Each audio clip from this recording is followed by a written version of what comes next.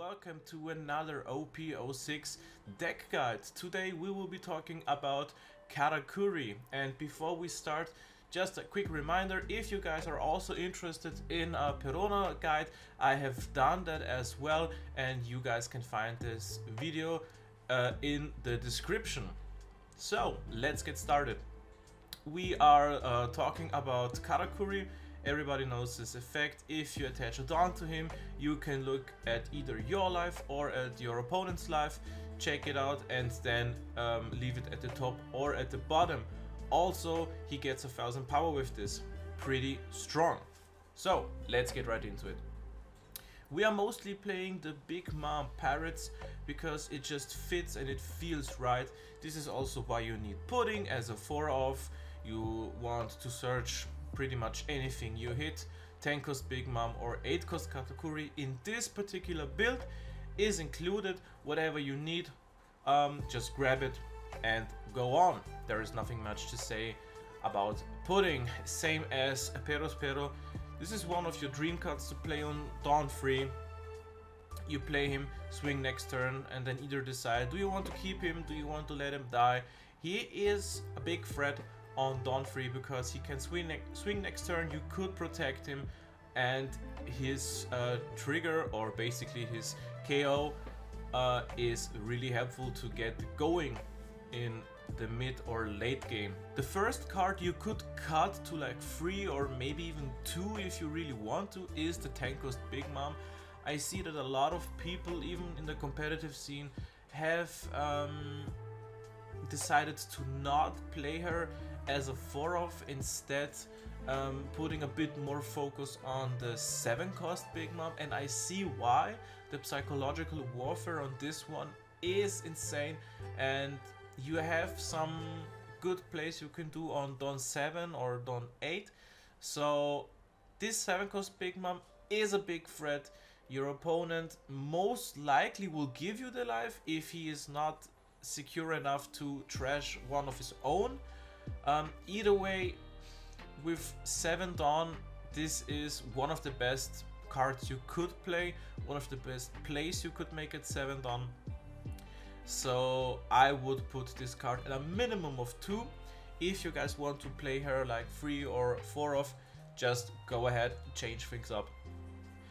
And for this particular build, I have decided to still include two copies of the 8 cost Katakuri because we will be playing the new um, Wano Kuni or um, Straw Hat type cards from OP06. So I'm talking about Onami, Kikunojo and Hiyori. I will be getting to these three ladies a bit later, but um, Katakuri just works with them.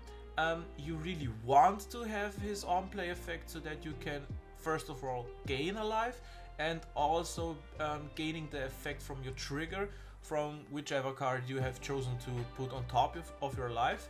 So he is him. He will be working in this deck, he will be doing great stuff and he is still a big threat on the field once you play him. There is really nothing much to say about Badge. If you're playing yellow, you are playing Badge as a 4-off. This card can win you games. This card is also most likely the reason you lost a game. Um, you play yellow, you play badge. It's as simple as that. Charlotte Amande is our um, another uh, 2k counter. You could play her, but there is almost no scenario where I would actually play her. She is 99.9% .9 of the time my 2k counter. She is also a hit from um, Pudding, so this is nice. Also, if we are talking about important cards you have to play, when you play yellow, there has to be Gedatsu. Gedatsu is one of the most important uh, cards that yellow has seen in the last few sets um, because he is a 5 cost 6k body. He has a 1k counter and his on-play effect is something yellow always needed. It's a simple KO one of your opponent's characters with a cost equal or less than their life. So basically if you put him at 5 Dawn or in Dawn 5 let's say, you will most likely um, hit something important from your enemy, um, you really should not play anything less than 4 or maybe 3 because his uh, KO effect is that important. We are still playing Satori because you can actually play her at 5. It's not that bad if you really don't have anything better or want to save something for the next turn. This is uh, totally okay to do so, but most of the time you want to play her from the trigger or just discard her when you, uh, when you are in need of a 2k counter. So the, this is basically it for Satori. We are now getting to the OP06 cards. Um, I have fallen in love with them. They are just that good. You really need them. I cannot imagine playing without them. The first card is Onami. She is what I think some sort of overtuned. If you look at her, she's a 2 cost with 3000 attack and a 1k counter. Her on-play effect is give up to one of your leaders or characters banish. And her trigger is to KO one of your opponent's 5 cost or lower characters. This card brings so much value on your field, even in your life, because you can now manipulate it with Hiyori. I will be talking about that a bit later. Onami has so much value not only from her on play, also being on the field. You have so much combo potential. I will be um, talking about that also as well, but just a quick example. If you play her on, let's say, Dawn 6, you um, choose to give one of your leaders, or your leader or one of your characters, banish, attach some Dawn, you will be making a lot of pressure with the simple play because banish is something your opponent really doesn't want to deal with. So he will most likely counter out of it so that he can um, protect his life card. But if he can't he will lose. He won't be losing his hand cards but he will be losing something potentially even more valuable because you just banished it. It is that strong.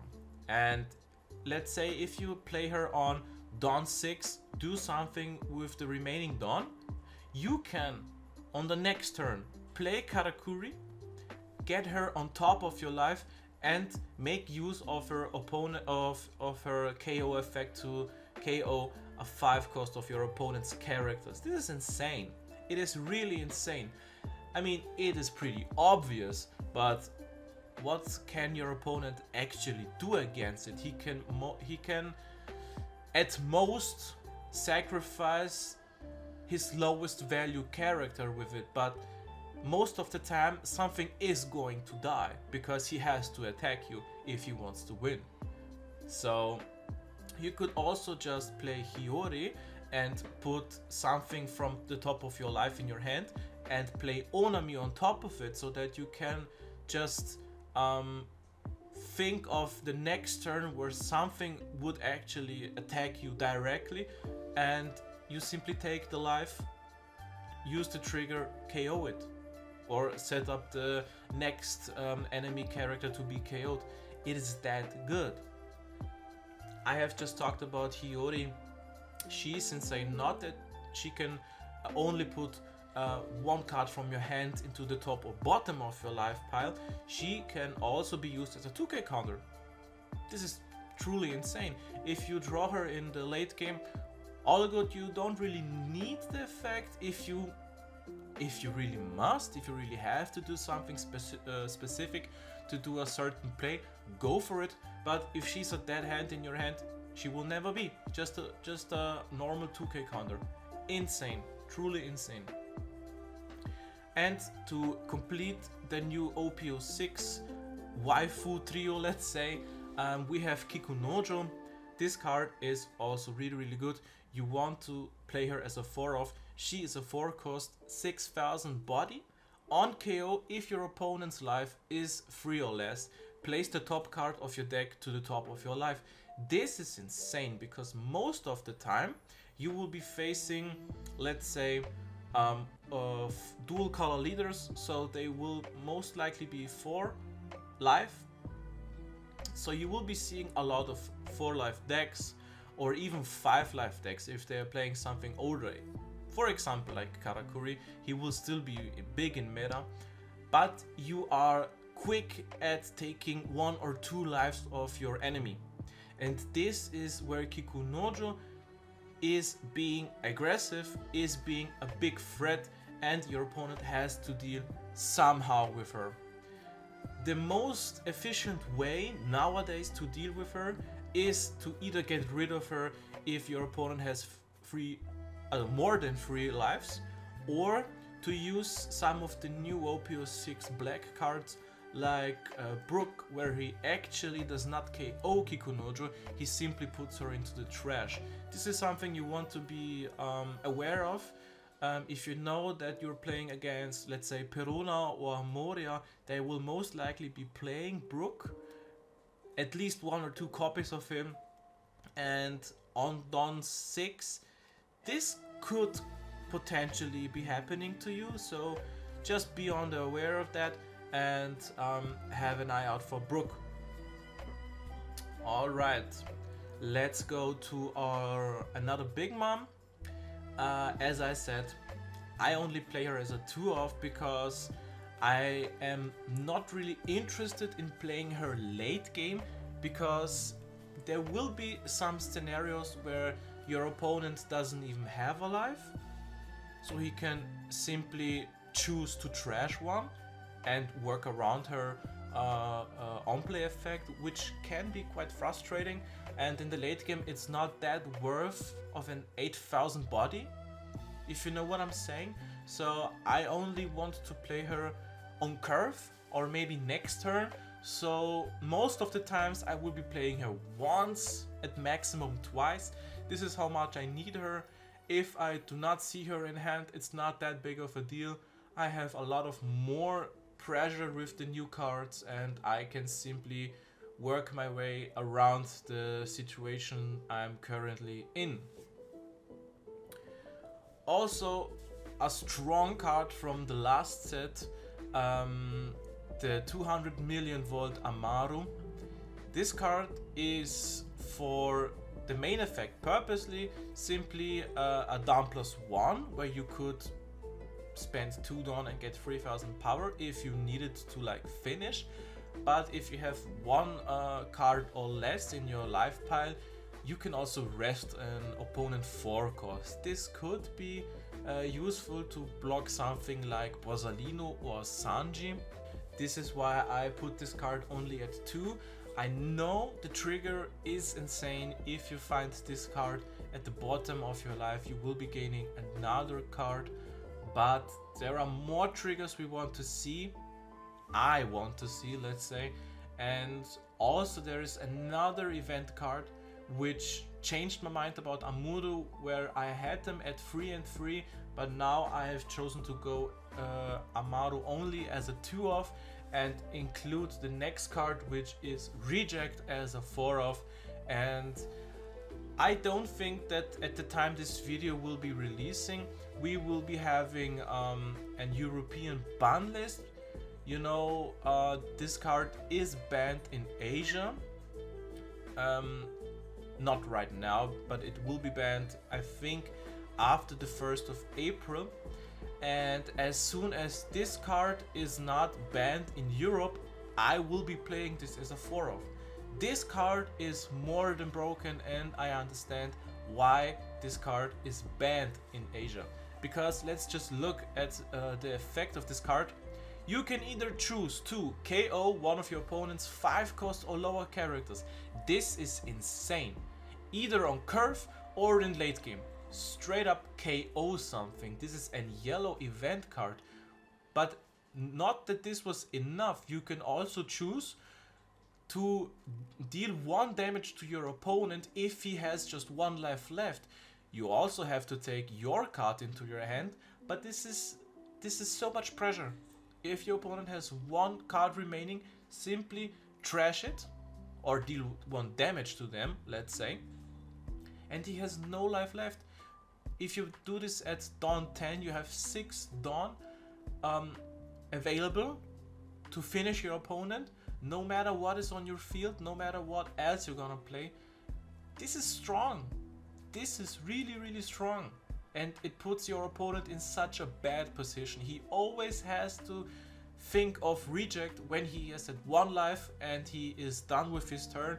The next step should always be damn, I think my opponent is going to play reject and I'm going to be facing lethal actions from his characters.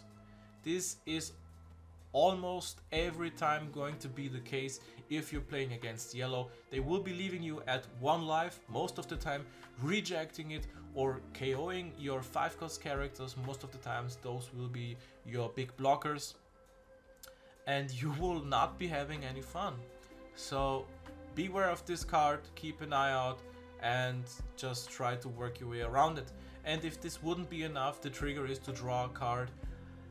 Most of the time I would not play this trigger only if I'm so far ahead that I don't even have something to KO with the first effect, then it would be truly a dead card, but those are some insane scenarios where I would not be making use of reject and it being a dead card in my hand. So your opponent really has to do nothing the first five turns to for this card to be dead in hand. It is that good. So this is it basically guys. If you want to change something up, as I said, you can always cut out the big big mom. You can add another uh, 7 cost big mom or two 7 cost big mom. Um, there are some things that OP06 has also um, released which are strong. One of the new characters you could be using is Nekomamushi. With uh, two dawns he can attack active characters which makes him a 7k attacker, an active uh, attacker let's say. This can put your opponent in an unpleasant situation where he has to really think about to actually protect something what is active from an attack. This does not happen that often, but Nekomamushi is doing his job and this is something you could consider playing. So, with that being said, you guys, I hope you enjoyed this video. I hope you guys um, took something from it and I personally will be maining this deck how I showed you here and I'm really looking forward to play at my uh, local tournaments and be having fun with Katakuri and I hope you guys do as well. So if you like this video, please leave a like, subscribe and also comment. I, will be happily reading them and answering them.